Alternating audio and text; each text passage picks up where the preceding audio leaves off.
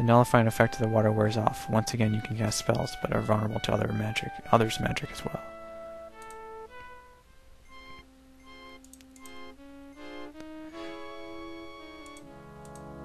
Let's read the history book.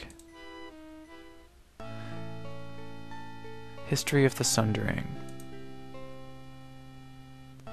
The Vortex. Eons ago, the Vortex was discovered. It was a place outside reality as we know it. In fact, it appeared to be reality unto itself. To be a reality unto itself. It was a place of great power. Researchers theorized that it might be the actual source of magic. It remains a place of mystery. As much as as much as is known about it, much more escapes us. It was the perfect place to actualize the plan. In order to defeat the enemy and create the and create the new worlds that Samah visualized, we had to sunder the world into five realms: air, fire, stone, water, and the labyrinth. Four to give to the Mensch, and one and one to imprison the Patryns. Not only would we be removed from the earth while this happened, we would be able to draw upon the, the perfect magic of the vortex to make it happen. We needed an instrument to focus the magic of the vortex, so we created an island of stone that floated us over its very heart. Upon it we inscribed a rune structure unlike any other. Indeed, this was a spell, but not just a spell. It was many spells intertwined into one structure. Every spell has a starting rune. When a wizard traces a spell, the magic flows from the starting rune into the other runes. Upon completion, the spell is defined and it is cast. This rune structure is different. It combines many different possible starting runes. When magic is introduced upon one of these, on one of these runes, the spell is defined and cast. There's a, there's a compelling reason for this. Along with being used to sunder the world, the island was designed to serve additional functions. Shortly after the sundering, the same rune structure created a conduit between the worlds. It is currently used to transport people and cargo from realm to realm.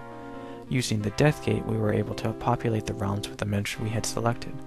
All that was required was a fleet of ships outfitted with steering stones containing the naming rune of the target realms.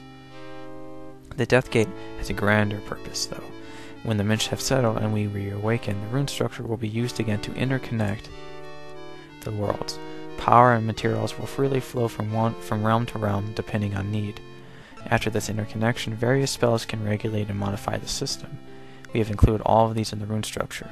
We have also included a failsafe spell. Should something go drastically wrong with the sundering, the spell exists to reform the single world from the five realms. We don't anticipate actually using this spell, but it exists just in case. The Island.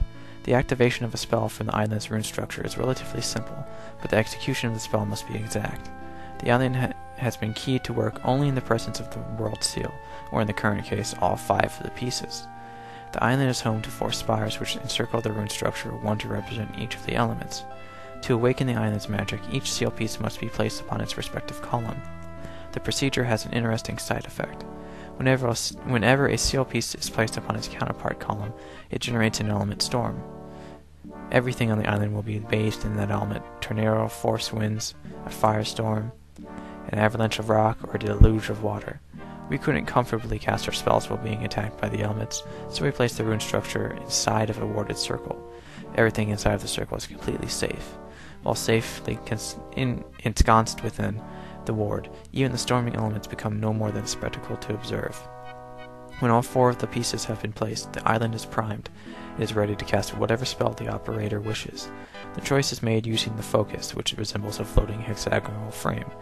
It must be placed over the desired starting rune, after which the remaining seal piece, that of the nexus, is set inside of the focus. This will ignite and cast the selected spell. The spells. Six men were dedicated to creating and inter inter intermingling the spells carried by the island. They are Samah, Dimitri, Osef, Lonoy, Tyler, and Waylith. Indisputably, six of the greatest contemporary Sartan magicians. Each was tasked with providing a single spell, and we will discuss each individually. Well, there's Samah in the center. There's Dimitri. There's Orsef. Lenoy.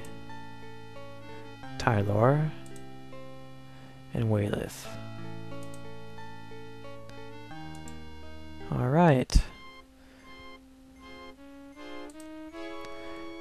This gate is the final portal of the labyrinth. Just beyond is the hell you called home for most of your life. Well, let's go in.